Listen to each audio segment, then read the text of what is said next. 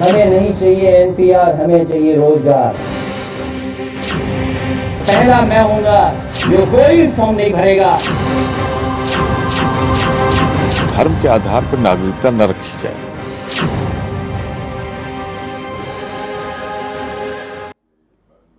NPR पर आर पार। नागरिकता संशोधन कानून और एनआरसी को लेकर बहस जारी ही थी कि केंद्र सरकार ने नेशनल पॉपुलेशन रजिस्टर यानी कि एनपीआर को अपडेट करने को लेकर मंजूरी दे दी। एनपीआर को मंजूरी क्या मिली? विपक्ष को मानो बैठे बिठाए एक मुद्दा मिल गया सरकार पर हमलावर होने का। कांग्रेस, जिसके शासनकाल में पहली बार एनपीआर लाया गया, वो भी अपने लाए एनपीआर के खिलाफ आवाज़ उठाने लगी। बस फिर क्या था? तमाम विपक्षी पार्टियों में मानो इसके विरोध में अपनी आवाज़ बुलंद करने की एक होड़ सी मच गई। विरोध के इस होड़ में अखिलेश यादव ने आगे बढ़ते हुए एनपीआर का फॉर्म न भरने की बात कह डाली। नमस्कार, स्वागत है आपका आर नाइन टीवी पर। दिन की बड़ी बहस लेकर हाजिर हूँ मैं श्वेता भट्टाचार्य। अखिलेश यादव रोज़गार और एनपीआर का मुद्दा उठाते हुए कहा है कि प्रदेश में रोज़गार नहीं है। युवाओं को एनपीआर नहीं, रोज़गार चाहिए। बीजेपी विपक्ष को बांटना चाहती है। हिंसा में पुलिस की गोलियों से जान गई है। फॉर्म न भरने पर कौन सी धारा लगेगी? बार बार ये बात कह रहे हैं अखिलेश यादव कि मैं फॉर्म नहीं भरूँगा एनपीआर का। कौन सी धारा लगाओगे? बताओ क्या करोगे? तो क्या अखिलेश खुलेआम सरकार के फैसलों का विरोध कर रहे हैं और खुद ही विरोध नहीं कर रहे, बल्कि लोगों को भी उनके साथ विरोध करने के लिए कहते हुए नज़र आ रहे हैं? अब सवाल यह उठता है कि अखिलेश को एनपीआर से दिक्कत क्या है? ऐसे तमाम सवालों के जवाब चलिए अगले एक घंटे में हम अपनी चर्चा में इनके जवाब जानने की कोशिश करेंगे। लेकिन चलिए उससे पहले नज़र डालते हैं इस रिपोर्ट पर। इस रिपोर्ट पर नज़र डालिए और समझने की कोशिश कीजिए कि सियासत कौन कर रहा है। अगर ज़रूरत पड़ी तो पहला मैं हूँगा जो कोई फॉर्म नहीं भरेगा। अगर आप साथ दोगे कि नहीं दोगे सवाल ये है। ये जिस फॉर्म की बात अखिलेश यादव कर रहे हैं वो एनपीआर का फॉर्म है। पहले सीएए और फिर एनआरसी के विरोध के बाद अखिलेश यादव की लड़ाई का अगला मुद्दा एनपीआर है। एक बार फिर अखिलेश ने विरोध की आवाज़ बुलंद कर दी है और इस बार तो अखिलेश अपने साथ साथ लोगों को भी एनपीआर का फॉर्म न भरने की सलाह देते नज़र आ रहे हैं। आप भी सुनिए। कि एनपीआर हम नहीं भरेंगे। और हम तो अपील करेंगे औरों से भी कि आगे आए और जो सत्याग्रह का ये आंदोलन समाजवादियों ने या देश के लिए छेड़ा है, उसमें हम सब लोगों का सहयोग करें। हम नहीं भरेंगे एनपीआर। हम नौजवान मांगेंगे रोज़गार। एनपीआर के बदले रोज़गार के नारों के साथ ही अखिलेश यादव ने अब सरकार पर कई सवाल दागे हैं।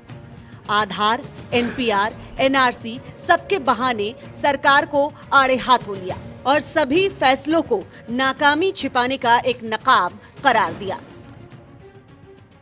उस समय सरकार को झुकना पड़ा था और ये स्वीकार करना पड़ा था कि वो लोग रह सकेंगे वहाँ पर। ऐसे न जाने कितने गरीब हैं इस प्रदेश में, देश में। आदिवासी लोग हैं। कल ही हमें नए साल पे मिलने आए सफेरे लोग।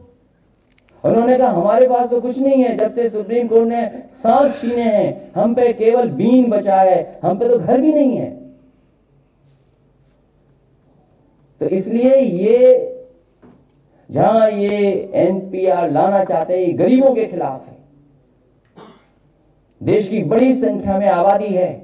मैं सरकार से जानना चाहता हूँ कि आधार में न जाने कितने आपने पन्ने भरवाए हैं।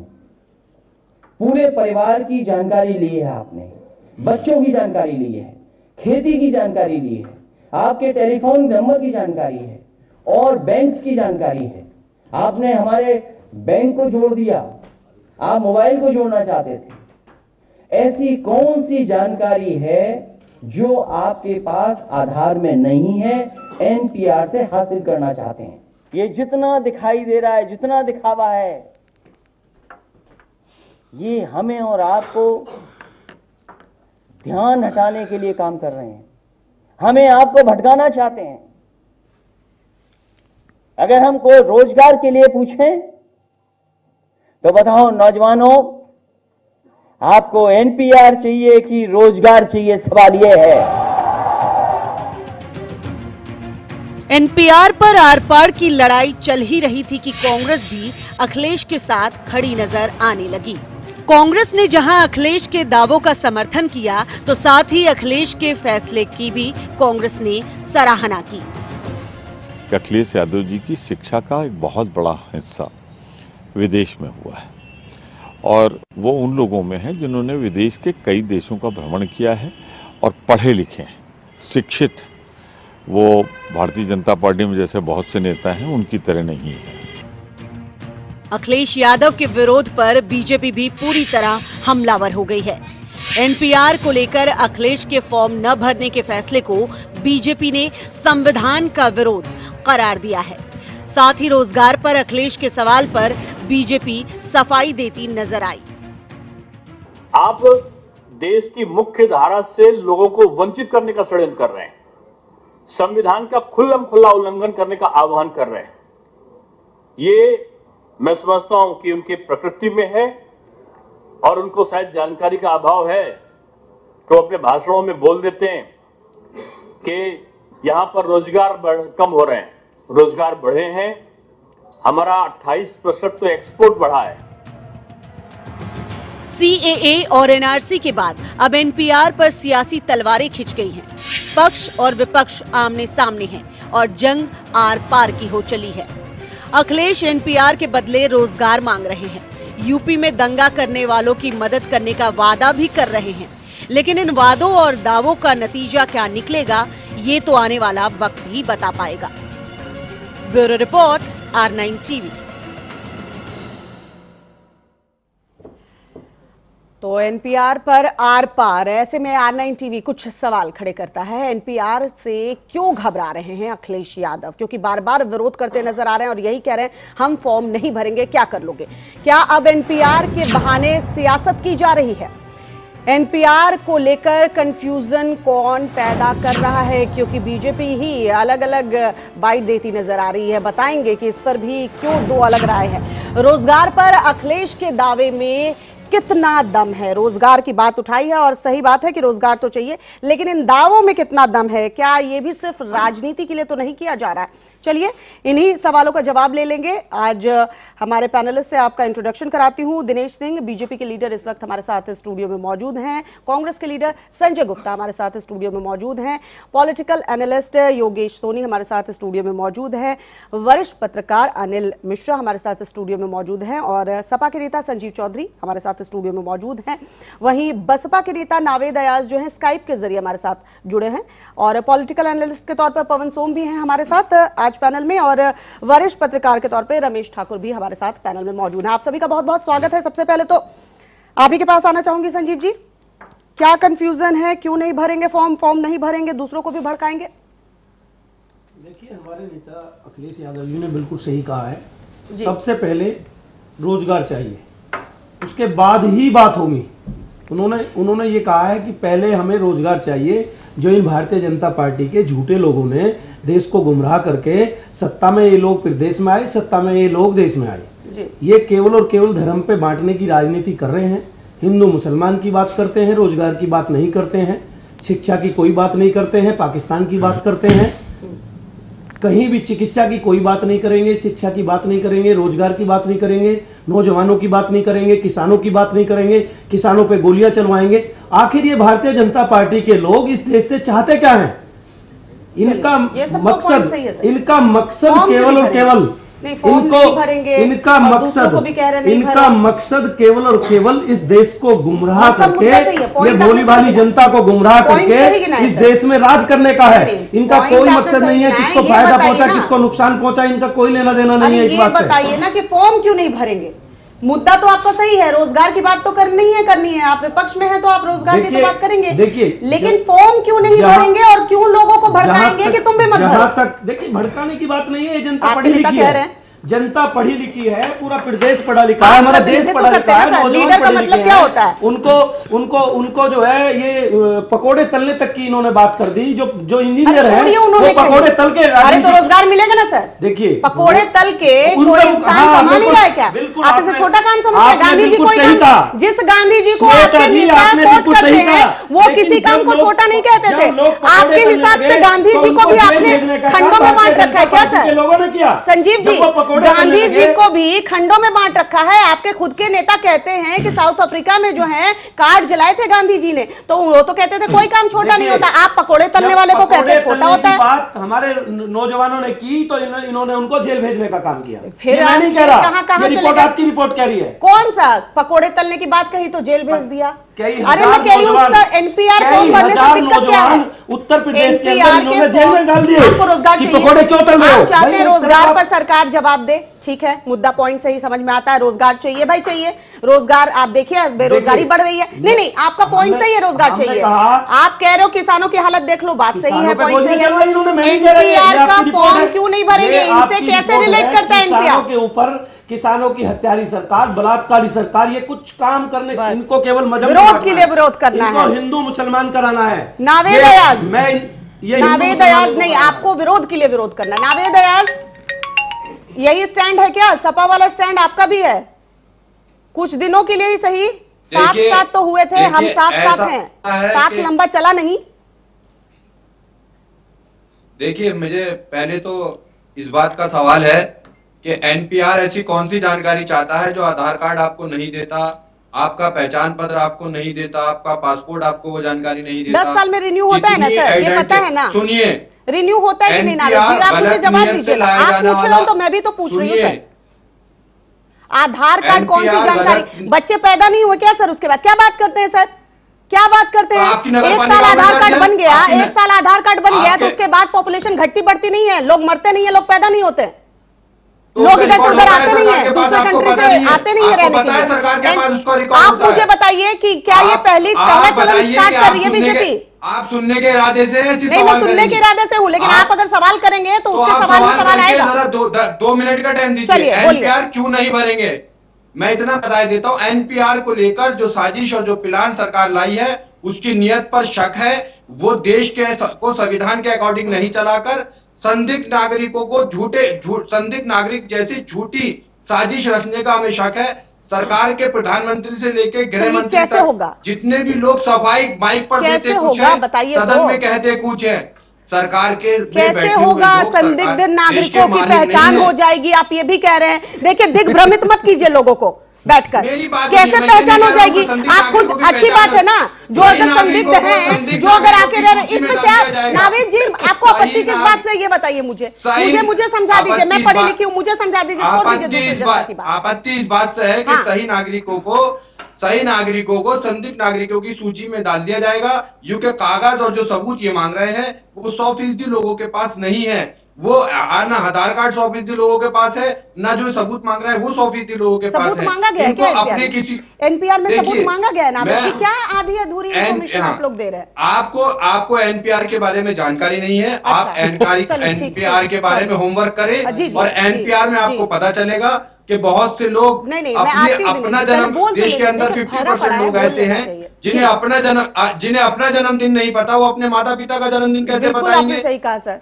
बिल्कुल सही कहा। योगेश सोनी जी। सुन रहे हैं आप? जी। सियासत के लिए सियासत हो रही है या वाकई में कहीं कुछ मुद्दा है कुछ अटका हुआ है कहीं एक सोल्यूशन निकलना चाहिए जो नहीं निकल पाया है कोई ऐसी कील रह गई है? या फिर सियासत के लिए सियासत हो रही है? एनपीआर पर आर पार सभी पार्टियाँ एक तरफ़ आ गई हैं कांग्रेस के शासनकाल में लाया हुआ चीज़ है फिर इतनी आपत्ति क्यों? श्वेता समस्या क्या है कि केंद्र में बैठी कोई भी सरकार हो हम बीजेपी के लिए नहीं कह रहे चाहे वो किसी की भी सरकार हो जो जो विपक्ष होता है उसका फ़र्ज़ धर्म कर्तव्य होता है विरोध करना। मतलब विरोध लेकिन कई बार कई बार मैं अगली बात वही कह रहा हूँ कई बार हमें मुद्दा देखना चाहिए कि हमें इस मुद्दे से आपत्ति क्या है। एक तरफ़ आप देश की सुरक्षा मांगते हैं ये देश की सुरक्षा से जुड़ा जुड़ा मुद्दा है तो आपको क्या आपत्ति है एनपीआर इसको लागू करने में या उसकी डिटेल देने में? समस्या एक ही है कि केंद्र में बैठी सरकार अगर कोई ऐसा काम भी कर दे जिससे पूरे विश्व में पूरे देश में अगर कोई हमें ऐसा कोई काम हो रहा है जिससे हमारी सुरक्षा के लिए हमें एक पहचान मिल रही है, उससे हमें फ़ायदा हो रहा है। लेकिन क्या है कि हर चीज़ पे विरोध करना जो होता है ना, वो कहीं ना कहीं दुर्भाग्यपूर्ण होता है। ये सपा के नेता जो बयान दे रहे बड़ा हास्यप्रद है कि इनमें संदिग्ध की पहचान होगी। आप खुद ही कह रहे हो उसमें फ़ायदा तो उसमें दिक्कत क्या आपको? आप भी साथ में हैं संजय गुप्ता जी? कांग्रेस भी सपा, बसपा की ही सोच पर चल रही है या फिर आप विरोध करके फंसते हुए नज़र आ रहे हैं तो अब चलो भैया, कहीं कुछ रास्ता नहीं बचा तो विरोध कर ले। देखिए श्वेता जी मैं ये कहना चाहूँगा चर्चा जिस दिशा में जा रही है शायद वो ऑफ़ द ट्रैक हो जा रही है। मैं इसमें दूसरी बात रखना चाहता हूँ। नहीं ऑफ़ द ट्रैक नहीं हो रही इसलिए आप रखिए अपनी बात। प्लीज़ आप मुझे कहने तो दीजिए क्योंकि आप उसको चला रही हैं संचालित कर रही हैं तो मुझे भी अपनी बात कहनी है। नहीं कहिए। और आपने मुझसे पूछा है। तो मैं आपको ज़िम्मेदारी से बताना चाहता हूँ कि यदि ये एनपीआर ठीक दिशा में हो रहा होता यही यदि ये एनपीआर 10 साल पहले वाला होता जी। इस देश में किसी को इतराज नहीं होता। आज समस्या क्या है? कि बड़े बड़ा अजीब तरह का माहौल है कि जो सरकार जो जो चीज़ें करती जा रही हैं और पूरी मीडिया या पूरी चर्चा आज उनके उनको फोकस करके है। आज हम विपक्ष को नहीं सुन रहे आप देश की जनता को नहीं सुन रहे आम आदमी को नहीं सुन रहे। नाम उठा दिया। सुनिए ना एक मिनट प्लीज़ नहीं मैडम नहीं अब उठा दिया तो मैं टोकूँगी। एक मिनट बोल नहीं तो। टोकूँगी। मैं बोलने बात तो पूरी कर कैसे दूँगी सर? बोलने कैसे दूँगी? आपने केंद्र बिंदु में मीडिया को ला दिया। वापस से अगर मैं सिंपल सा क्वेश्चन पूछ रही हूँ बसपा सपा के पार्टी लाइन अगर आप मुझे बोलने नहीं देंगे तो मुझे बुलाती क्यों है? आप बुलाया मत मेरे कीजिए। सवाल का जवाब दीजिए ना सर। आप मीडिया पे सीधे आप मुझे लगा बुलाया मत कीजिए ना, मैडम, जब अगर आपने सुनना नहीं चाहती है मुझे। आप आप मीडिया को टारगेट करेंगे और मैं बैठ के सुनती बिल्कुल मीडिया को टारगेट नहीं कर रहा मगर सुने तो सुन तो लीजिए। आपने बोला यहाँ बैठे पैनल मुझे में सुन तो लीजिए मैं क्या कहना चाहता हूँ? पूरी पूरी बात मी- तो सुन मीडिया को आपने सर लपेट लिया लपेटे में। और आपको चलिए लग रहा है कि एक मैं मैं एंकर फिर आपकी आप आप बोलिए मैं सुनता हूँ। नहीं आप जवाब दीजिए ना सर कहाँ जवाब दूँ? आप देने देंगे किसी को मुझे बोलिए दिक्कत क्या है आप रोज का ये तरीका है। जब मैं बोलना शुरू होता हूँ आप वही रोक देती हैं। बहाना कोई भी ढूंढ लेती है नहीं आप मीडिया पे अटैक करेंगे मैं अरे आप मुझे बोलने तो दीजिए। तो बोलिए तो दिक्कत तो कहाँ बोलने दे रही हैं आप? पार्टी आप सपा बसपा को सपोर्ट करते हैं आपकी पार्टी के नेता ने कहा। इस दो सवाल का जवाब दीजिए। पता नहीं मैं मुझे समझ में नहीं आ रहा मैं कैसे बोलूँ बोलिए। चलिए चलिए देखिए आपको इतना बुरा इसलिए लग रहा है क्योंकि आप असल की गहराई में जा नहीं रही हैं। नहीं आप इस देश के अंदर क्या ये एनपीआर आप इतनी पढ़ी लिखी और एंकर हैं? मुझे बताइए आपसे पूछ लेता हूँ सरकार को छोड़ दो। दिनेश भाई को छोड़ देता हूँ। आप बता दीजिए। क्या ये एनपीआर दस साल पहले वाला है? और यदि नहीं है। और यदि ये एनपीआर वो वाला नहीं मेरे है सवालों का जवाब दीजिए। आप मेरे ऊपर सवाल मत कीजिए। आप आपको बोलना है ना अपनी बात रखनी आप रखिए ना कि आप सपा बसपा की पार्टी लाइन को सपोर्ट करते से हैं। जवाब नहीं दे पाऊँगा मैडम। मैं क्षमा चाहता हूँ। ये ये क्या बात हुई? क्या जवाब? आप सुनना ही नहीं क्या चाहती। आप उल्टा मेरे से सवाल कर रहे हैं। आप चाह रहे हैं कि मेरे आपके सवाल का जवाब दूँ। आप मैंने सवाल यही तो बताया कि कि इसकी चर्चा मैंने पहली बात ये कही थी कि ये गलत दिशा में हम बात कर रहे हैं। क्यों? क्योंकि इसमें तथ्य छुपाया जा रहा है। तथ्य ये है कि ये वो दस साल पहले वाला एनपीआर नहीं है। जिसकी हम चर्चा कर रहे हैं। यदि ये दस साल पहले वाला एनपीआर होता, जो यूपीए गवर्नमेंट में आया होता तो इस पर कोई झगड़ा या बहस नहीं होता। इस इस देश के अंदर किस तरह से तथ्य को घुमाया जा रहा है, ये मैं बताना चाहता हूँ। मैं ये कहना चाहता हूँ, सरकार ने इस एनपीआर के अंदर जो नई चीज़ें जोड़ी हैं, जिस तरह से इसको बदला है, अब हर एक आदमी तक उस तक उसको समझाने का प्रयास भी नहीं कर रहे हैं। और किस तरह का इनका अतिवादी रवैया है, आज मुख्यमंत्री ये कहना चाहते हैं कि मैं आपकी ज़मीन को बेच के हथियार लूँगा और संपत्ति कुर्क कर दूँगा। मगर ये बताना नहीं चाहते, लोगों के बीच में जाकर के समझाना नहीं चाहते हैं कि जो जो चीज़ें हम ला रहे हैं, उसका क्या इफ़ेक्ट आएगा? या उसको कैसे ठीक किया जाए? या उसके अंदर क्या तब्दीलियाँ लाई जाए? या कोई कानून हमने पास कर भी दिया है? तो एक लोगों में विश्वास जगाने की भावना होनी चाहिए। मगर ये सारी चीज़ें इस देश में नहीं हो रही। और उसके अंदर ना केवल अखिलेश जी को मैं बताना चाहता हूँ, इस देश के अंदर बहुत सारे लोग ऐसे हैं बहुत सारे युवक ऐसे हैं बहुत सारे पढ़े लिखे वर्ग ऐसा है जो इस देश के अंदर सरकार की इस मनमानी और अतिवादी रवैये के साथ खड़ा होना नहीं चाहती। वो बहुत से लोग इसके अंदर एनपीआर के अंदर अपनी जानकारी नहीं देंगे क्योंकि उन्होंने जानकारी गलत मांगी है गलत तरीके से मांगी है ताकत से मांगी है धमका के मांगी है ये मैं कहना चाहता हूँ। अनिल मिश्रा जी सुना आपने? अब भाई मैं बोलूँगी तो फिर हो जाएगा कि भाई गोदी मीडिया का तो आरोप लगता ही आ रहा है मीडिया पे। आप क्योंकि वरिष्ठ पत्रकार है? नहीं ये मुझे आप, मैं, मैं आपने जो बोला क्या दस साल पहले वाला एनपीआर है? ये छह बिंदु अलग है सर। छह बिंदु अलग है और हम खुद अपने ग्राफिक्स में चला रहे हैं। क्यों अलग है?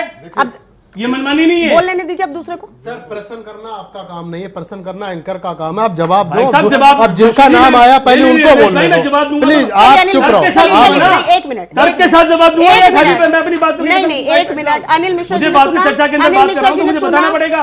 अनिल मिश्रा। फ़र्क क्या है? अनिल मिश्रा जिस तरीके से देखिए सवाल सिर्फ़ एक उठ रहा है कि विरोध के लिए विरोध हो रहा है क्या? आर पार के मूड में कि अब सरकार जो भी कानून लाए जो भी नियम लाए हमें उसमें विरोध करना है। इतना तक कहा है कांग्रेस के लीडर्स ने कि अगर अखिलेश यादव ने यह बात कही कि सीए के विरोध प्रदर्शन में, जो भी हिंसक प्रदर्शन में रहे, जिनके परिवार वाले घायल हुए, ये हुए, उन्हें पेंशन तक दी जाएगी, उन्हें हम राशि देंगे, अगर हमारी सरकार आती है, उससे भी सपोर्ट किया है उन्होंने तो राजनीति कौन कर रहा है? बिल्कुल, अब आपका प्रश्न सही हुआ है। देखिए, विरोध के लिए विरोध किया जा रहा कहा जाए तो काफ़ी हद तक सही है, लेकिन इसको और सरल शब्दों में कह दिया जाए तो सिर्फ़ और सिर्फ़ सियासत की जा रही है। लेकिन एक लाइन क्लियर रखिएगा, ये सियासत केवल विपक्ष नहीं कर रहा है, इसमें सत्ता पक्ष भी शामिल है। मैं उसको दो, जो इतना कंफ्यूजन है या विवाद का विषय क्यों बना है, दो लाइन में क्लियर करता हूँ। एनपीआर सीए को लेकर जिस तरह देश में माहौल गर्म हुआ था, अभी वो ठंडा भी नहीं हो पाया था, उसको एनपीआर लाया गया। एनपीआर नो डाउट देश के लिए बहुत आवश्यक है और हर आदमी का, हर नागरिक का, हर भारतीय का फ़र्ज़ बनता है कि एनपीआर में सहयोग करे और करना चाहिए। लेकिन अगर जहाँ विपक्ष पर आरोप लग रहा है कि विरोध गलत ढंग से कर रहा है, वहीं सत्ता पक्ष पर भी आरोप लग रहा है और लग नहीं रहा, सही लग रहा है। जो सत्ता पर सफ़ाई में कह रहा है कि यूपीए गवर्नमेंट ने भी तो किया था 2010 में किया था, हम उसी को फॉलो कर रहे हैं। देखिए, दो लाइनें यहाँ कंफ्यूजन क्रिएट हो रही हैं। एक सीए को लेकर तुरंत एनपीआर आना और जो एनपीआर है 2018 और 19 की जो होम मिनिस्ट्री की रिपोर्ट है, उसमें एक लाइन लिखी हुई है NPR is the first step of the NRC जिस एनआरसी को लेकर विरोध रहा लेकिन ये केवल इसी साल नहीं लिखी गई है। ये यूपीए के टाइम लाई गई एनपीआर जब स्टार्ट की गई थी, मैं और क्लियर कर दूँ, एनपीआर यूपीए के टाइम 2010 में स्टार्ट की गई थी, उस टाइम भी ये लाइन प्रयोग की गई थी और चिदम्बरम ने इसको एक्सेप्ट किया था। तो एक तो एनआरसी का जो एक डर का माहौल पूरे देश में बना हुआ है, जिसका उदाहरण असम है, उसके कारण ये है, और दूसरा दूसरा जो है कि जो एनपीआर का अगर सत्ता पर सफ़ाई दे रही है कि यूपीए गवर्नमेंट किया है 2010 में तो उस टाइम में 15 क्वेश्चन थे। इस टाइम में 21 क्वेश्चन है। उस टाइम का एनपीआर इससे टफ था। तब फिंगरप्रिंट्स भी लिए गए थे। आई की पूरी टेस्टिंग हुई थी। इस बार वो कुछ भी नहीं है। लेकिन एक सवाल ऐसा है जिसने विवाद पैदा कर रखा है, जिसको सत्ता पक्ष को समझना चाहिए, मेरे ख्याल से। उसमें जो आपकी डेट ऑफ़ बर्थ आपके माँ बाप की डेट ऑफ़ बर्थ और वो कहाँ पैदा हुए, ये एक भरने का एक कॉलम दिया गया। उसके साथ विवाद देखिए कहाँ पर है। साथ में यह कहा जा रहा है सत्ता पक्ष की तरफ़ से यह अनिवार्य नहीं है। अगर आप ना चाहें तो ना बताएँ। यहाँ से विवाद की जड़ पैदा होती है, अगर अनिवार्य नहीं है, अगर हर आदमी मना करता है तो आपको उस एक लाइन जिस पर विरोध विपक्ष कर रहा है, पूरा देश अगर आपके अगेंस्ट खड़ा हो रहा है तो आपको अगर वो अनिवार्यता नहीं है, उसकी इतनी आवश्यकता नहीं है तो उस लाइन को हटाने की या ना हटाने की जो एक जिद है, वो ये सीन जो क्रिएट कर रही है जिस पर विपक्ष उसको हथियार बना रहा है, उस हथियार के बाहर पूरा विपक्ष एकजुट हो रहा है और सत्ता पक्ष अपनी उसको आप ताकत कह लें या उसको अपनी एक अहंकार कर लें, वो उससे एक कदम पीछे हटने को तैयार नहीं है। तो ले दे के एनपीआर को लेकर जो इस तरह बहस हो रही है निश्चित तौर पर कहा जाएगा एनपीआर भरना ज़रूरी है। अति आवश्यक है। एक तरह से इसका विरोध करना कहीं ना कहीं एक अपराध के रूप में माना जाएगा क्योंकि देश की कार्रवाई है। लेकिन उस, उतनी ही जिम्मेदार तो सत्ता पक्ष भी है जितनी विपक्ष है क्योंकि इस तरह की आग लगाई जा रही है दिनेश जी के पास आज सारे सवाल के जवाब दिनेश जी को ही देने हैं। इसीलिए पहले पवन सोम जी, कितना सहमत है अनिल मिश्रा से? और ये जो बात कही कि एक लाइन जिसका ज़िक्र है कि अनिवार्य नहीं है तो इस पर सत्ता पक्ष को कहीं ना कहीं क्लैरिटी लानी चाहिए। क्या, इस बात की क्या गारंटी है कि अगर हटा ही दिया जाता या क्लैरिटी ले ही आए तो उसके बाद विवाद ना हो? जी, जैसा कि एनपीआर को देख के आपको समझना चाहिए कि एनपीआर में सबसे पहले जो डेटा मांगा गया है, उसमें डेटा बिल्कुल एग्जैक्ट डेटा मांगा गया है कि आप कब से निवास कर रहे हैं, आपके माता पिता का निवास स्थान कहाँ पर है, वो कब से यहाँ पर रहते हैं। तो उसमें चीज़ें बड़ी एग्जैक्ट मांगी गई हैं। ये बिल्कुल वैसे हो रहा है कि जैसे एक पुलिस की पुरानी थ्योरी रही है कि साहब भीड़ में किसी की तरफ़ भी गन करके आप बोलिए हैंडसअप जो सस्पेक्ट होगा वो हैंडसअप हो जाएगा। तो इसका मतलब ये है कि यहाँ केवल उन लोगों को ढूँढने का कार्य करना चाहते हैं कि जो लोग यहाँ पर सस्पेक्टेड हैं। लेकिन इसमें कोई बुराई नहीं है क्योंकि देश के अगर हम लोग इस तरह से परिप्रेक्ष्य में देखें कि जहाँ पर हमें इन लोगों की पहचान करनी है या एक डेटा इकट्ठा करना है उस डेटा के थ्रू हमें जितने भी हमारे विकास के कार्य हैं जितनी भी हमारी योजनाएँ बनती हैं वो सारी उसी को देख के बनती हैं। तो इस पर इतनी मारामारी क्यों हो रही है? ये बात समझ से बिल्कुल बाहर है। और क्यों इसके ऊपर जो है विपक्ष ने विपक्ष सारा विपक्ष भी इस पर एक तरफ़ नहीं है। विपक्ष को यही पता नहीं है कि हमें इस पे विरोध किस वजह से करना है। यही तो सवाल उठ रहा है और हर एक- कह तो रहे हैं कि विरोध है हर एक लेकिन व्यक्ति- मुद्दा अलग अलग है। हर एक व्यक्ति इस पे जो विपक्ष का है वो अलग अलग बातें बोल रहा है लेकिन सरकार का स्टैंड फ़र्स्ट डे से क्लियर है कि हमें जितनी भी सूचनाएँ इससे मिलेंगी उन सूचनाओं की जो जो रिज़ल्ट है जो आएगा उससे हम लोग जितनी भी विकास की योजनाएँ हैं उनको अमली जमा पहचाने में बन- पहनाने में हमें बहुत आसानी हो जाएगी है? तो ये हमें देखना चाहिए ये हमारे इंडिया के और हमारे नेशन के इंटरेस्ट में है उसके अच्छी के लिए हैं उसके भलाई के लिए हैं और यूपीए वगैरह में भी इस तरह की ये- चीज़ें आई ये बात जो पवन सोम कह रहे हैं हालाँकि ये सभी को पता है यहाँ संजय जी भी बैठे हैं और शायद शो के बाद ये माने भी कि एनपीआर तो देश के लिए वाकई में ये डेटाबेस तो हर देश भी तैयार करके रखता है और डेटाबेस ज़रूरी है। अब इस पे जो राजनीति की जा रही है? ये क्या आने वाले चुनाव को देखते हुए कुछ तो मुद्दा चाहिए रोज़गार चाहिए इस मुद्दे को विपक्ष उठा नहीं पाया। चाहे वो लोकसभा में कह ले अगर अगर इतने अच्छे तरीके से रोज़गार का ही मुद्दा उठा लिया होता ना तो 2019 का जो तो हमने देखा है लोकसभा का रिज़ल्ट वो अलग होता। Correct. लेकिन आप उठा नहीं पाए तो आप सोच रहे भाई कि अब हम क्या करें? क्या एक के बाद एक एक के बाद एक स्टेप लिए जा रही है सरकार तो हमें कहीं तो रोकना है। तो इसीलिए अब एनपीआर हो सीए हो या हम इसको एनआरसी से जोड़कर हम एक माहौल क्रिएट कर दें ताकि फिर से हम लोगों को लोगों का ध्यान खींच पाए। आपका फेल्योर हुआ कि आप रोज़गार पर ध्यान नहीं खींच पाए मुद्दा उठा नहीं पाए लेकिन अब इसके बहाने आप गलत कर रहे हैं। रमेश ठाकुर। नहीं आप मुझे बताइए मुद्दे हैं कहाँ? कौन सी विपक्षी पार्टी कोई मुद्दा उठा रही है? अब ये तीन ऐसे मुद्दे आ गए एनआरसी उसके बाद में सीए उसके बाद में ये एनपीआर इन मुद्दों को लेके अभी सारे पैनलिस्ट की मैंने बात सुनी किस, कोई भी उस नब्ज को नहीं पकड़ पाया। छोटी सी नब्ज अनिल मिश्रा जी ने पकड़ी है। वो नब्ज ये है कि इस पर देखो, पहले एनपीआर को समझने की ज़रूरत है। इसमें एक डाटाबेस एक आधुनिक प्रक्रिया है, जो हमेशा सब, सारी सरकारें करती हैं। यूरोपियन कंट्री में आप चले जाओ तो जिस तरीके से अभी आपने हवाला दिया पासपोर्ट का कि वो दस साल के बाद रिन्यू होता है, वैसा ही ये रिन्यू होता है। अच्छा हमें जिस तरीके से जो डिबेट बैठी हुई है, जो समाजवादी पार्टी के अध्यक्ष ने जिस तरीके से बात करी है उनके बात को अगर गौर से हम सोचें उनके प्रकाश डालें तो मुझे लग रहा है इतनी हमारी तो उम्र नहीं है लेकिन चार चार पाँच दशक पहले अगर थोड़ा सा हम जाके देखें जो बिहार के जो नक्सलवाद इलाके थे जो। ज़िले थे उनमें क्या हुआ था? जिस समय यूडीआई लाने की कोशिश करी गई थी जिस समय आधार लाने की कोशिश करी थी उन्होंने उस समय समाजवादी पार्टी के जो नेता इस समय कह रहे हैं कमोवेश उन्होंने वैसा ही कहा था कि हम आधार नहीं बनवाएँगे। हम कोई भी इलेक्शन कार्ड नहीं बनवाएँगे हम कुछ नहीं बनवाएँगे। क्या हुआ नतीजा आज? आज सारे के सारे जंगलों में पड़े हैं उनको हम नक्सली कहते correct, हैं। उनको हम नक्सली कहते हैं। अगर आज ये एनआरसी का अगर मुद्दा ये उठ रहा है ना मतलब इतना भ्रम फैलाया जा रहा है पॉलिटिकल पार्टियों की तरफ़ से अगर एनआरसी सही से लागू होता है श्वेता जी तो आप देख लेना पूरा का पूरा झारखंड खाली हो जाएगा। एक नहीं बचेगा। किसी के पास कोई वहाँ पे प्रूफ नहीं है, ना रहने के प्रूफ है, ना उनके पास छत है, ना कुछ है। साथ मेरी बात से अभी जब सरकारी पक्ष आएगा, दिनेश सिंह जी बताएँगे तो सही से फोकस डालेंगे।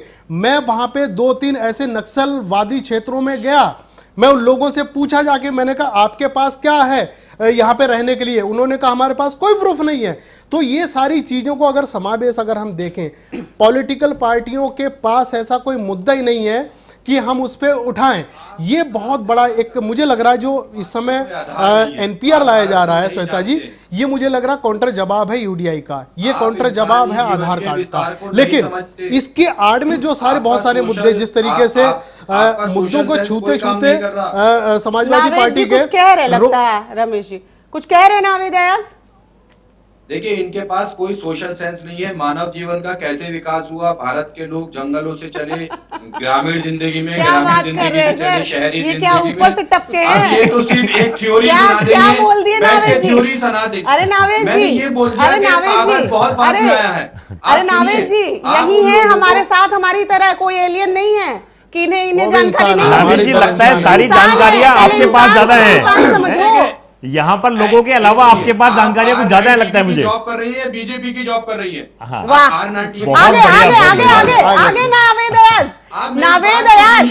नावेद अराज नावेद अराज मैंने आपको कहीं नहीं रोका। मैंने आपको कहीं नहीं रोका। पहली बात तो मैं यहाँ बिल्कुल बिल्कुल नहीं मैं बिल्कुल अलाउ नहीं करूँगी। आप बोल देंगे कि मैं बीजेपी का जॉब कर रही हूँ मैं सुन लूँगी।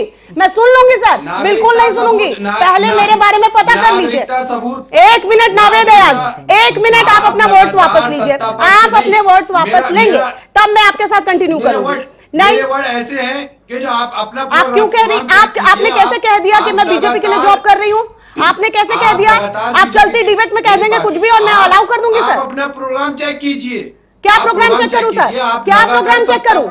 कहाँ थी समाजवादी पार्टी? 1992 की बात कर लो। कितने लोग मारे गए थे? कहाँ थी समाजवादी पार्टी? कहाँ समाजवादी पार्टी थी सर आप बात कर रहे हैं। आपके नेता खुलेआम कहते हैं ये गुंडागर्दी है सर। ये गुंडागर्दी है क्या? क्या आपके नेता खुलेआम कहते हैं मैं भी नहीं भरूँगा तुम भी मत भरो। इस पर मुझे तो ऐतराज है। श्वेता जी आपके आपके बयान पे जो समाजवादी का आपने बयान दिया है सुनिए। तो आपके बयान पे मुझे ऐतराज है। आपने इंस्पेक्टर की हत्या हुई इन्होंने हत्यारों को बाहर निकाल के बीजेपी वालों ने उसके गले में माला डाली। आपने तो नहीं कहा। क्यों नहीं कहा आपने? नहीं आपने क्यों नहीं उसका उदाहरण क्यों नहीं दिया आपने? श्वेता जी आपने समाजवादी का उदाहरण क्यों दिया? आपने इंस्पेक्टर की हत्या और इंस्पेक्टर के दोषियों को बीजेपी वाले मेरे तो शो में आप मत डालते हैं। उसका उदाहरण नहीं दिया आपने। के है मैं कंटिन्यू रही मैं कंटिन्यू कर रही संजीव जी मैं आपने में कर दिया क्यों दे दिया आपने आपसे अभी दे दिया आपने? संजीव जी माफ़ कीजिए। दिया संजीव जी आप बोल रहे हो। वो तो उनका सवाल करना उनका आप चैनल में बैठे सवाल करेंगे। आप क्यों नहीं बोले आप? कितनी मैं क्या बोलूँगी क्या नहीं ये मेरा अधिकार है। आप मेरे मुँह में अपने शब्द नहीं डाल सकते please please Sanjeev ji please show मैं कर रही हूँ कंटिन्यू मैं करूँगी। Please please Supreme court show रहा है। ये सुप्रीम कोर्ट कह रहा है। आप अच्छा उदाहरण देते हैं तो समाजवादी का। आप समाजवादी को टारगेट कर रहे हैं आप। प्लीज़ प्लीज़ नहीं तो समाजवादी को टारगेट मत कीजिए। उदाहरण आप बीजेपी का आपके नेता आज फिर बोले ना सर। आपके नेता बार बार कह रहे हैं। मैं नहीं भरूँगा फॉर्म कौन सी धारा लगाओगे? इनके इनके क्या चल तो रहा है क्या चल रहा है? चाहते क्या है? नहीं बता चाहते क्या है? मैं नहीं भरूँगा तुम भी मत भरो ये क्या बात हो गई? बिल्कुल विरोध क्या बात हो गई? आप इनका भी उदाहरण दो। आप क्या बात बिल्कुल मैं आ रही थी दिनेश पे। मैं आ रही थी लेकिन मैंने आवेद दया तब तक कंटिन्यू नहीं करूँगी आपके साथ माफ़ जब तक आप अपने शब्द वापस नहीं लेंगे कल परसों हत्या हुई एक मिनट दिनेश एक मिनट संजीव जी रुक जाइए। आप मुझे नहीं बताएगा मुझे डिबेट का टॉपिक क्या रखना है। आप मुझे नहीं बता सकते। गलत आपको बैठना बैठे शो में। देखिए गलत लेकिन प्लीज़ नावेद दयाज आप अपने शब्दों को संजीव जी मैं आपसे नहीं बोल रही हूँ पहले। पहले आप शांत हो जाइए मुझे शो आगे ले मुझे शो आगे ले जाना। प्लीज़ एक मिनट दिनेश जी आ रही हूँ। मैं नावेद आपके साथ कंटिन्यू नहीं कर पाऊँगी जब तक आप अपने शब्दों को वापस नहीं लेते। आप वापस ले रहे हैं? बात सुन लीजिए। आप मुझे संतुष्ट कर दीजिए कि आप सिर्फ़ आर नाइन की जॉब करते हैं। मैं आपकी भाषा से संतुष्ट नहीं हूँ आप तो भाषा से संतुष्ट नहीं है तो आप कुछ भी बोलेंगे। आप आप मेरी भाषा आपको मेरे शब्द चुभ रहे हैं तो आप कुछ भी बोलेंगे। आप कुछ भी बोलेंगे। आप कुछ भी बोलेंगे। शब्द वापस लीजिए। आप शब्द वापस लीजिए। मैं कौन हूँ? मैं कौन हूँ? और मैं किसकी जॉब करती हूँ? ये पहले डिटेल लेके बैठा कीजिए। एक ही आरोप लगता है मीडिया मैं बर्दाश्त नावेद अयाज आप अपने शब्दों को वापस आप सीधे आप अपने शब्दों को वापस आप संविधान के चौथे स्तंभ की जॉब कर रही है। आप अपने वापस लीजिए। आप पत्रकारिता के साथ ईमानदारी करें। आप अपने शब्दों को वापस ले रहे हैं? नावेद जी नावेद जी। मैं आर मैं बिल्कुल मेरी मेरा जवाब मेरा सवाल यह है कि अगर आप आर नाइन से जॉब करते हैं तो आप मुझे संतुष्ट कर दीजिए। बोल देंगे तो इससे आपका सम्मान बढ़ेगा।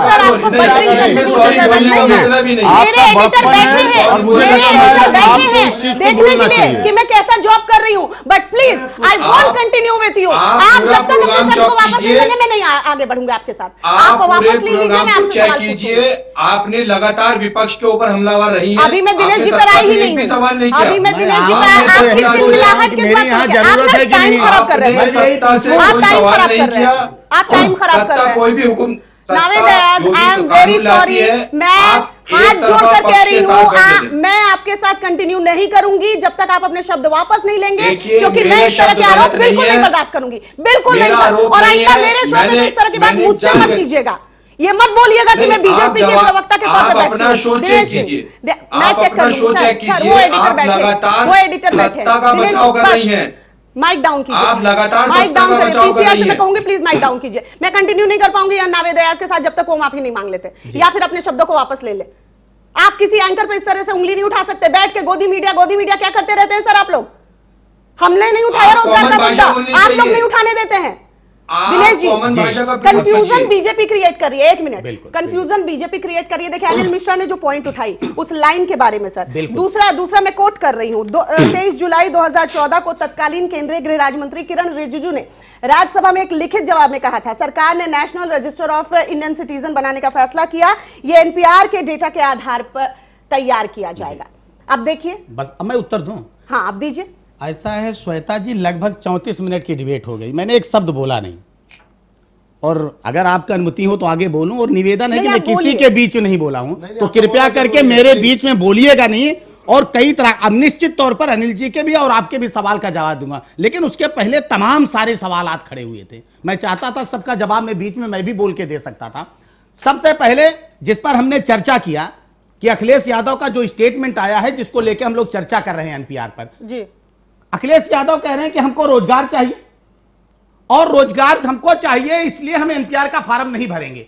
तो रोज़गार के लिए भी ना फार्म भरना पड़ता है, नंबर एक चीज़ अखिलेश जी को पता होनी चाहिए। दूसरी चीज़, आप एनपीआर का फार्म भरेंगे, लेकिन आप दूसरे को गुमराह करने का काम कर रहे हैं। आप कह रहे हैं, मेरे ऊपर क्या धारा लागू होगी? वो तो पता चलेगा कौन सा धारा लागू हो गए आप कहीं एलियन से नहीं आए, और प्रमोद तिवारी जी कांग्रेस के नेता, उनका आप बाइक चला रहे थे। उन्होंने कहा, अखिलेश यादव विदेश से पढ़ के आए मुझे शर्म आती है। अच्छी बात है।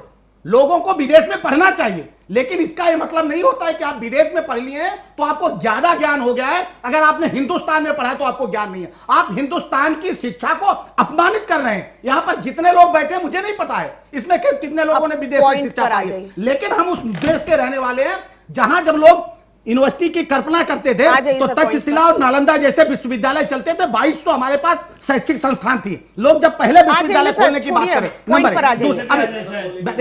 मैं किसी के बीच में नहीं बोला ना। बोला क्या? पॉइंट पर आ मैं बंद मैं बंद कर देता हूँ। नहीं अगर आपको तय करना मैं जाऊँ श्वेता जी अगर इनको तय करना है तो मैं जाऊँ। दिनेश जी पहले ही नावेद अयाज ने नहीं मैं जाऊँ। टाइम खराब हो मैं है। जाऊँ। संजीव जी मुझसे ज़्यादा और मुझसे मैं इस तरह की डिबेट मैं गाजीपुर सब्ज़ी मंडी की डिबेट नहीं करता हूँ। मैं सुनना पड़ेगा। सुनना पड़ेगा भाषण सुनना पड़ेगा। संजीव जी सुनना पड़ेगा। शर्म नहीं आती आपके नेताओं को। न तो आपको शर्म आती नेताओं की। नहीं, ये- भोग लीजिए। जिस पर डिबेट पहली लाइन पर देखा देखा इनको। इनका चरित्र देखिए। अच्छा चलिए तो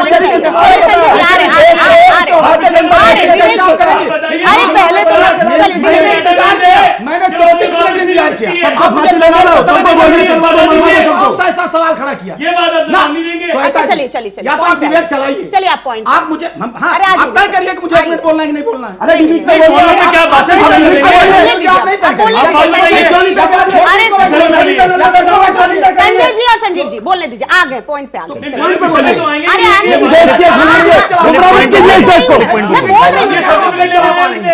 हूँ तो रोकना श्वेता जी को चाहिए था कायदे में तो इस तरह की डिबेट नहीं सर्टिफिकेट नहीं, नहीं चौतीस मिनट सुना चलिए चलिए बोलिए नहीं या तो आप डिबेट चलाइए ऐसे नहीं चलती अरे पॉइंट पे आइए ना सर जवाब दीजिए तो तू आप तो ही की महिला पार्टी क्रिएट कर रही है कर लीजिए अनिल मिश्रा और मेरे सवाल का जवाब दीजिए। ये सब पॉइंट पे थे।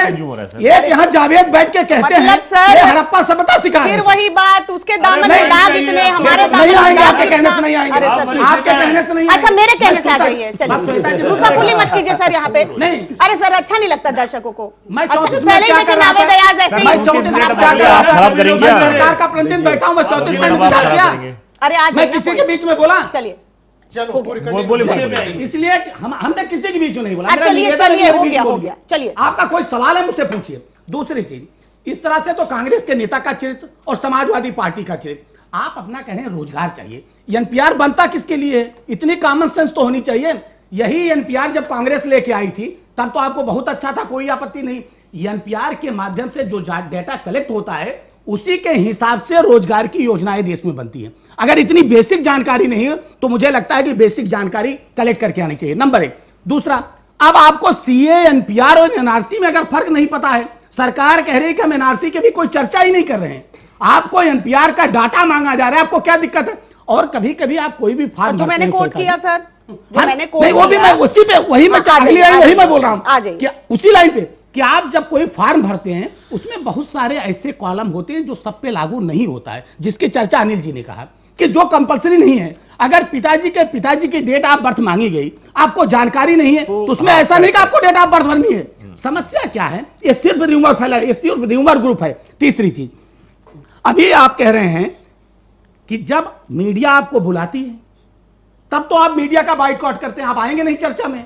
ये चरित्र कांग्रेस पार्टी का था। जब आप बुलाएँगे तो आप स्टूडियो में अगर राष्ट्रीय चैनल पर आप आरोप लगाएँगे। यहाँ पर भारतीय जनता पार्टी का पक्ष रखने के लिए जागरूक जी ना। देखिए, मैं बहुत बड़ी बात नहीं कर रहा हूँ। मुझे किसी दूसरे के सहारा अरे आप आप डिबेट की बात क्यों नहीं करते? श्वेता जी टोकेंगे नहीं श्वेता जी टोकोगे नहीं आप नहीं करने ये डिबेट की बात क्यों नहीं करते ये कौन है बोलने वाले किसी को। ये किसी ये ये किसी अतिथि को कहने वाले कौन है? अरे तुम हो गए आप ये बताइए। देना पड़ेगा। आप बताइए हटाएँगे कि नहीं हटाएँगे? जवाब बिल्कुल नहीं देंगे बिल्कुल इस देश का व्यक्ति हाँ। आपसे बाउंड नहीं है। बिल्कुल, आप नए नए अतिवादी लाएँगे कोई आपसे बाउंड नहीं है बस। और जो उसके अंदर सजा आप देना चाहते हाँ, बस, बस। वो देश की जनता भुगतने को तैयार है। इसलिए सड़क पे खड़े हैं लोग। सुनो सुनो सुनो। क्या बात कर रहे हैं एक मिनट शांति आप बता नहीं रहे हैं एक मिनट शांति रहिए। और दूसरी चीज़ श्वेता जी देश के बेरोजगारों को रोज़गार सरकार को देना अरे दे तो दिया सैंतालीस साल में सबसे ज़्यादा रोज़गार यार स्थिति है। फोर्टी सेवन ईयर्स में। क्या बात कर रहे हैं संजय जी, मैं आपको सुना था। रोज़गार की शब्द यूज़ कर रहे हैं। आप एनपीआर बता दीजिए हटाएँगे कि नहीं हटाएँगे? फालतू जो पॉइंट है। ये बता दीजिए। श्वेता जी देश में रोज़गार देने का काम सरकार का है लेकिन जो चिल्ला रहे हैं गला फाड़ के कांग्रेस और समाजवादी पार्टी ने इनको रोज़गार देने का काम किसका है? देश की जनता इनको रोज़गार देती है। आज बेरोजगार हो गए ना? आज तो अखिलेश का एक मिनट एक मिनट आपको निकाला झारखंड में बाहर निकाला क्या कहें? और आप सत्तर प्रतिशत से पैंतीस प्रतिशत पर आ गए। अपने रोज़गार को देखिए आप। अरे सत्य जी, जी ऐसी जी डिबेट बात आप लोग जो पसंद बोलेंगे सत्य बोलेंगे। ये किस तरह की बात जो है? बोलेंगे सत्य है, नहीं बोलेंगे। समझ पाता। क्योंकि गंगा नाली है हैं। भाषण सुनने नहीं आए डिबेट मतलब- में आए अरे चले जाइए। ये इसमें बताइए। आपको सुनना पड़ेगा। बताओ मैं जब आप भाषण सुना रहे थे मैं सुन करें। मैं आपको बोल रहा हूँ सच में आपको बोल बुरा लग रहा है। मैं बोल दिनेश जी। कौन बनाएगा?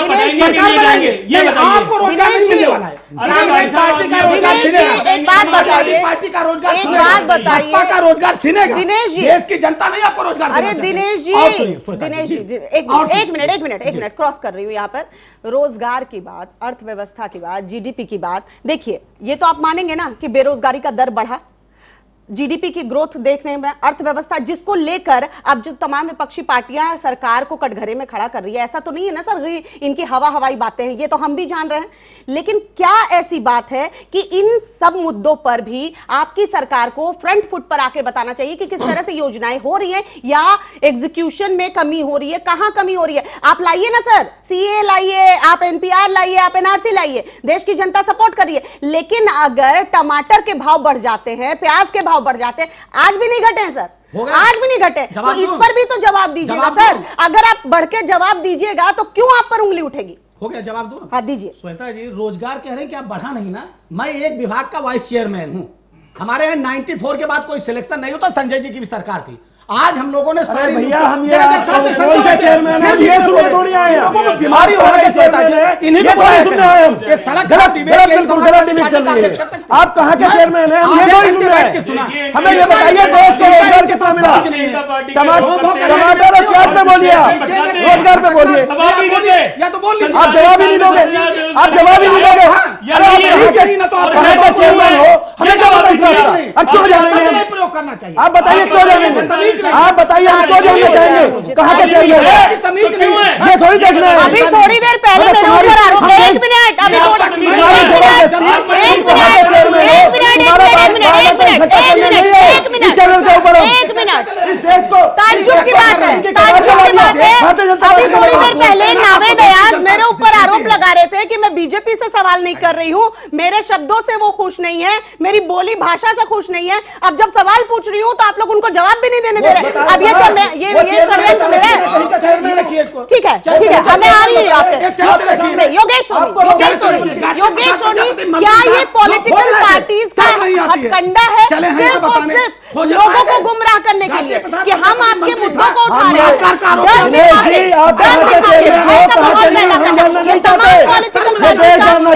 रोज़गार कब दोगे। सोनी, कब दोगे? शिक्षा पे कब दोगे? आपके पास योगेश श्वेता श्वेता मैं तुम्हारा सेंटेंस समझ सुन नहीं पाया तो योगेश योगेश जी क्या ये तमाम पॉलिटिकल पार्टी ने एजेंडा अपना लिया है कि सब कहे हम तो हित की बात कर रहे हैं लोगों की? लोगों का तो कोई सोच ही नहीं रहा है। ये देखिए सवाल पूछा मैंने रोज़गार और इस पर तो उस पर भी सभी पार्टी आ गई अरे भाई सुनना चाहिए ना कि क्या बोल रहे हैं लेकिन नहीं। तो ये क्या तमाम पॉलिटिकल पार्टी ने एजेंडा अपना लिया है? एजेंडा अपना लिया है कि गुमराह कैसे करना है जनता को? वोट बैंक की पॉलिटिक्स कैसे करना है? है? देखिए अभी अभी अभी देखिए सुनिए। हम सुनना है। देश को रोज़गार कब दोगे हम पूछना है देश को है? है? जवाब नहीं दे रहे जवाब नहीं दे रहे बारह लाल अरे। बत्तियाँ थी कितनी बची हैं? बताओ ना। देखो, बताओ ना। अरे? बताओ। संजीव चौधरी। बारह लाल बत्तियाँ थी परिवार में। कितनी बच्ची हैं? अरे आप आप पहले मामले को समझिए। अभी अनिल मिश्रा जी ने और रमेश ठाकुर जी ने कितने अच्छे तरीके से आकलित करके इन चीज़ों को बताया। पहले मामले को समझिए कि वो है क्या। फिर अभी सबसे बड़ी बात की है मैं नावेद अयाज साहब की बात पे विरोध करूँगा कि हम पत्रकारों पे कोई भी अगर हम कोई विपरीत या इनके उसके क्वेश्चन पूछते हैं तो तुरंत ये हमें गोदी मीडिया मोदी मीडिया बता देते हैं। अरे भाई जब क्रॉस क्वेश्चन आदमी पूछेगा विपरीत क्वेश्चन पूछेगा तभी तो कुछ निकल के आएगा। अभी कोई बात कही नहीं कि उससे पहले हंगामा बच जाता। एक ही धारा में यदि सारी विपक्षी पार्टी बह रही है तो इसका मतलब ये तय हो जाता कि केंद्र फिर कहीं ना कहीं सही कर रही है। पहले बात को समझो उस घटना तक पहुँचने का प्रयास करो। हर बात पे इस तरीके से आरोप लगाना या इस तरीके से कहना कहीं ना कहीं बड़ा दुर्भाग्यपूर्ण होता है। किसी भी पत्रकार के पास वो अनुमति होती है और वो इस तरीके की बात कर सकता है लेकिन पत्रकारों की आवाज़ दबा के जिस तरीके से हल्ला मचा रहा विपक्ष चाहे वो कांग्रेस है मैं इनको भी देख रहा था सपा के सहयोगी मेरे साथ बैठे ये कहीं ना कहीं गलत होता है। अरे आप घटना पे चर्चा कीजिए कम से कम इस डिबेट के पंद्रह से मीडिया की विश्वसनीयता जनता के लिए है राजनीतिक पार्टियों की नहीं है। अब आप किसी पे भी एकदम आरोप मीडिया की देते हो हम आप पे कोई भी आरोप लगा सकते हैं तो ऐसा नहीं ऐसा नहीं कि अगर एक एंकर अगर एक एंकर है चेयरमैन हूँ है है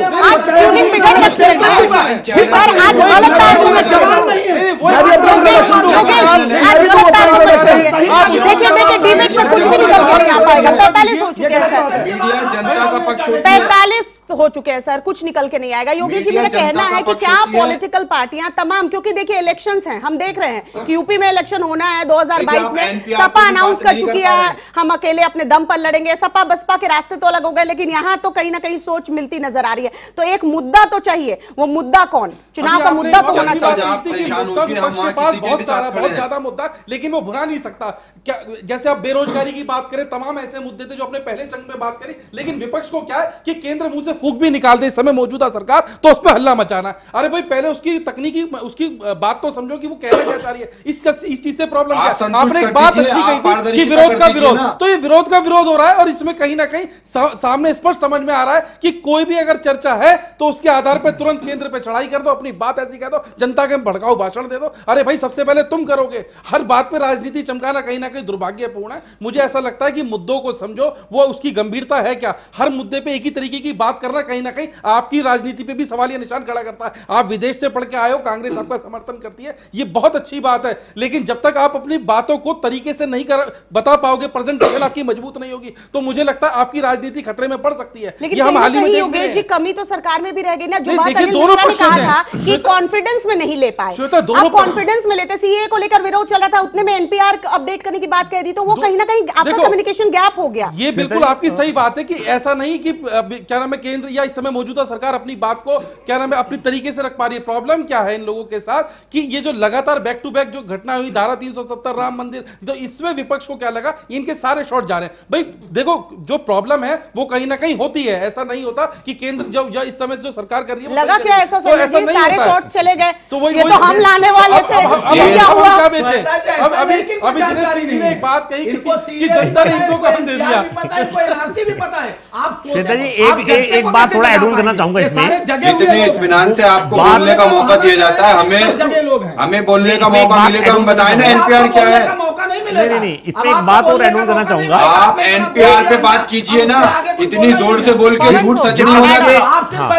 विपक्ष के- विपक्ष के पास- की गोली खाकर आया करें घर से तो आप तो पृथ्वी के अगर आपका ब्लड प्रेशर हाई हो जरा एक बात गोली करना चाहूँगा। बैठिए बैठिए वहीं जहाँ है वहीं बैठे रहिए। वो ये है कि अगर कीजिए अरे ना आप बैठे रहिए दिनेश जी केवल एक बात ऐड करना चाहता हूँ कि हमारे पास विपक्ष के पास बहुत सारे मुद्दे थे और मुद्दे हैं।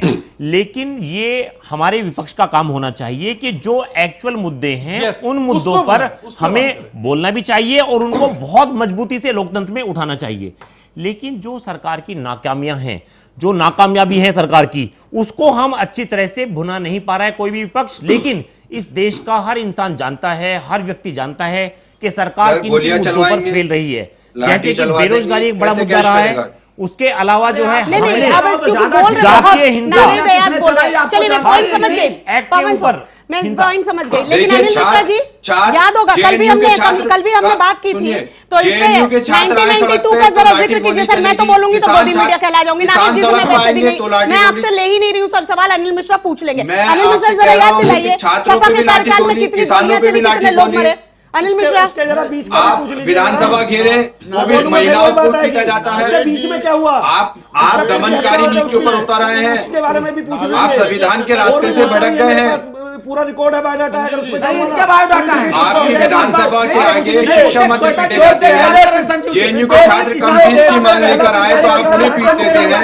मध्य प्रदेश में किसानों पर गोली चलवा देते हैं। पहला प्रदेश ऐसा जानने है की देश को गोली चलवा देते हैं। हम मुद्दों की बात करेंगे कौन से मुद्दों की बात आपके पास शोर मचाने का कोई कोई रास्ता नहीं है बात बात सुनने के लिए और सुनाने के लिए होती है आपके पास मुद्दे। ये वो ये वो बसपा ये वो नावेद अयाज है। ये ये ये वो नावेद अयाज है और ये वो संजीव चौधरी है जो कुछ दिन पहले साठ गांठ जीतने के डर से वैचारिक मतभेद बुला दिए। वो वो सर सर गेस्ट हाउस कांड में भूल गए थे नावेद जी। नावेद जी गेस्ट हाउस कांड में भूल गई थी मायावती। गए सब कुछ भूल के।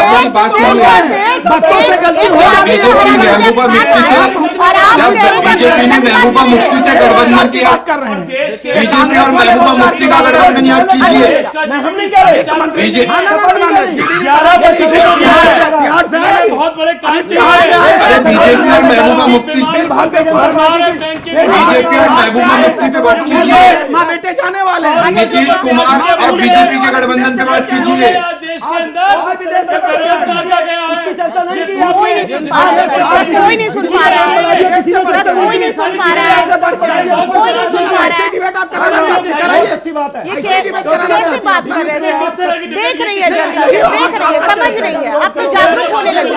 है वो दिन दूर नहीं जागरूक हो चुकी होगी और फिर आप लोग कहीं मुँह दिखाने लायक नहीं रहेंगे। अनिल मिश्रा।